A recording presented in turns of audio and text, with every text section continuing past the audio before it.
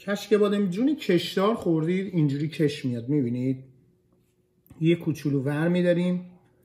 نه کشک بادمجونمون یه کوچولو هم کشک ور میداریم. اینم از این نعنام داره. اگه می‌خواید اسرار خوشمزه شدن یه کشک بادمجون یاد بگیرید بریم با هم فیلم ادامه بدیم. به به به باغ تاباتش جواد جوادی. ببین چی بردون آوردم.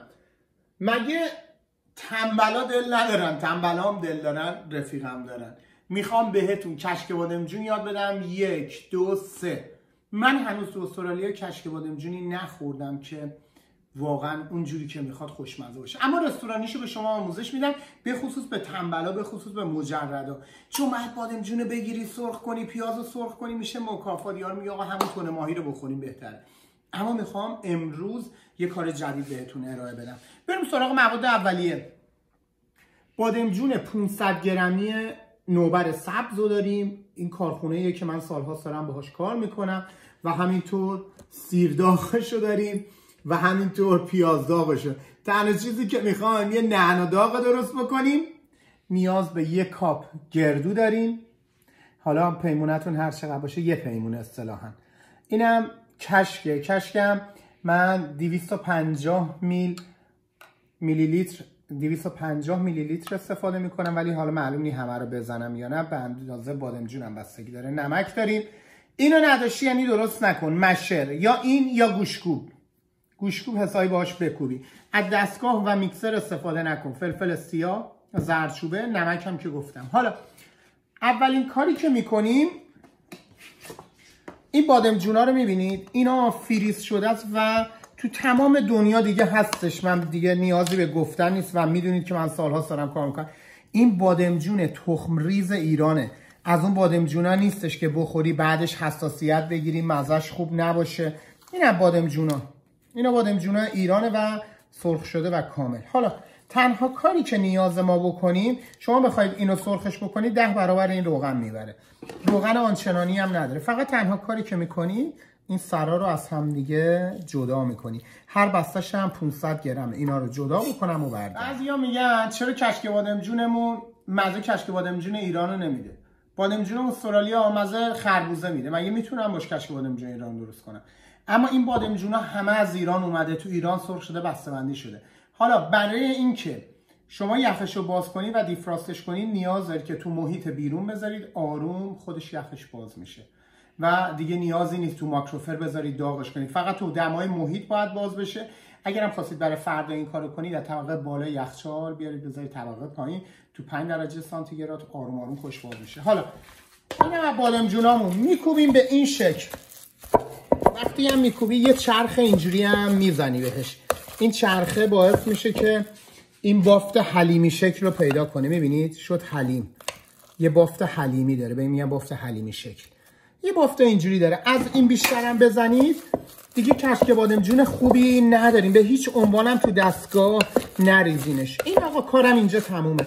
دیگه میریم پایگاه تا مراحل بعدی رو کشک بادمجونم بغلاش روغن بچکه یه کوچولو نیاز به روغن داریم. حالا میام سراغ پیازداغ نوبر سبز. این هم پیازداغش ببینید چه پیازداغ خوشگل و قشنگی داره. من نیاز دارم که این پیازداغ طلاییه. من نیاز دارم که این پیازداغ رو چیکارش کنم؟ یه مقداری به رو به تیرگی بره. نیاز دارم یه مقداری تپ بدم تا تیره تر بشه. حالا شروع می‌کنم. اینو هی دائما هم زدن. نصف بسته پیازداغشم کافیه برامون. سیرداغ منجمد نوبر سبزه. می‌بینید؟ سیر خوبی هم هست. از اینم تقریبا نصف بسته رو اضافه می‌کنم. با پیازداغا شروع می‌کنم تفت دادن. اینم شعله است. ملایم رو به بالا. ولی نمی‌خوایم اینا بسوزه. ولی نیازم داریم که رنگش تیره تر بشه. برای کشک بادمجون تیره تر که بشه خیلی بهتر و شکیل تر وای میسته.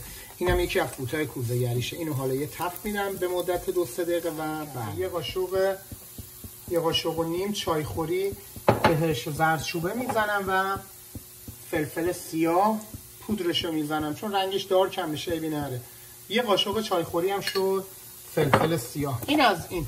فقط اینو یه تفه کوچیک میدم. نمک هم زیاد بهش اضافه نکنید چون کشک شوره به خاطر همون نمک یه مقداری اضافه می‌کنم بادمجون هم مقدارش چقدره؟ مقدار بادمجون هم, هم یک کیلوه.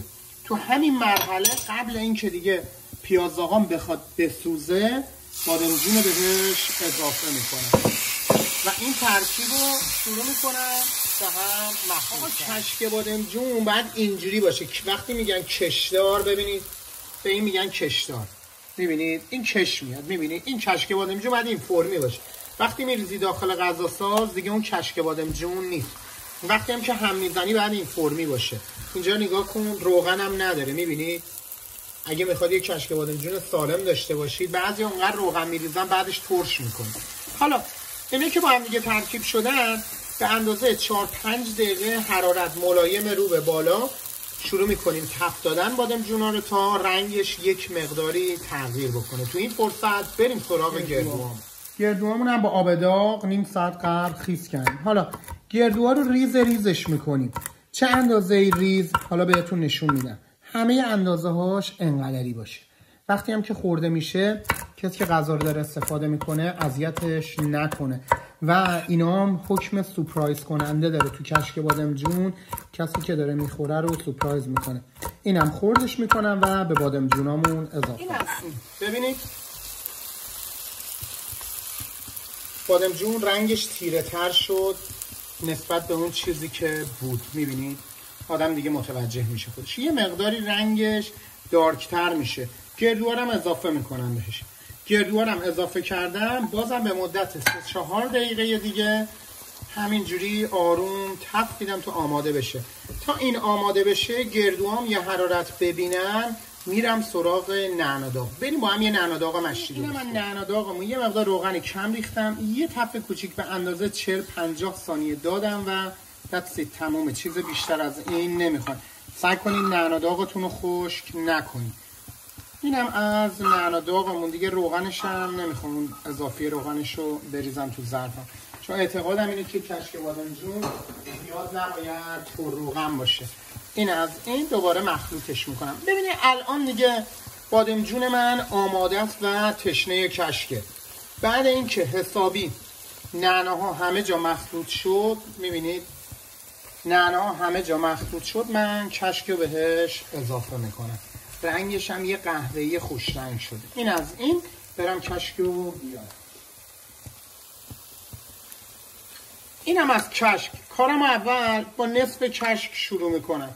یک دو و سه تا قاشق پر. حالا ما اندازه نمیگیم اینم چهار تا دیگه. بیشتر هم بهش اضافه نمی کنم و شروع می‌کنم دائما هم زنم. اینو هم می‌زنیم. مخلوط میشه تا فوت کوزگریش رو بهتون یاد تقریبا آماده شده. اما حالا این فوت کوزگریش چیکار می‌کنیم؟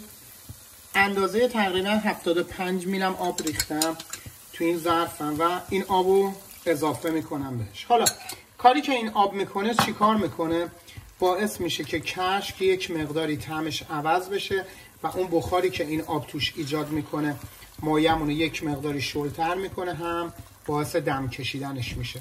حالا اینو کاملا مخلوطش می‌کنیم و اجازه میدیم تا این آب بخار بشه و میریم برای سرو کردن از این آبش بخار شد و یه کشک بادمجون مشری داریم. ما ببینید اینجوری کشک بادمجون شل نیستش. خب حالا می‌برم داخل ظرف. این از این ببخشید. این از این. حالا شروع می‌کنم اینو صاف و یک دست کردن و میریم برای دیزاین کردن گردویی که خیس نشده باشه خورد می‌کنیم به صورت خورد کردن نامنظم. به این شکل. اینا رو هم کناره های ظرف میریزیم. فقط باید دقت کنید اینا زیاد درشت خورد نشده باشه که کسی رو اذیت نکنه موقع حالا می‌خوام در مورد کشک بادمجون بهتون یه چیزی بگم. این کشک بادمجون زخامتش رو نگاه کنید. اگه شل بود به این زخامت وای نمیستد مثل کیک تولده اگه می‌خواستم قالب بزنم هم قالب می‌خورد. این کشک بادمجونی که تو رستوران سرو میشه یا برای مهمونی می‌خواید سروش بکنید باید شل و آبکی نباشه. وقتی که به نون می‌زنی اینجوری باید کش بیاد. اون رشته های بادمجون دیده بشه. اون میشه کشک بادمجون آقا دوستتون دارم. محصولات نوبر سبز الان دیگه همه جای دنیا هست. از کانادا گرفته تا انگلیس گرفته اروپا گرفته کشورهای اطراف خودمون گرفته و داخل ایران خودمون و همچنین داخل استرالیا تو هر شاپی می‌تونید پیداش بکنید. ملبورن سیدنی بریزبن پرت هر جا که دوست داشتید ادلاید هستش. و اگرم نتونستید پیدا بکنید شماره تلفن و description و وبسایتشون همین پایین تو قسمت description می‌ذارم. می‌تونید باهاشون تماس برقرار کنید و وبسایتشون رو ببینید. بیشتر از 200 محصول منجمد شده داره. آقا دوستتون دارم. دمتون گرم. شبتون خوش.